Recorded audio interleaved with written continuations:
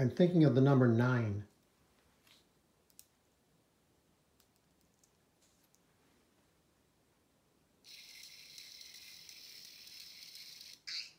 Too low.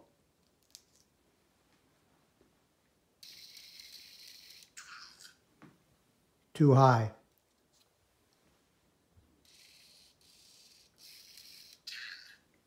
Too high.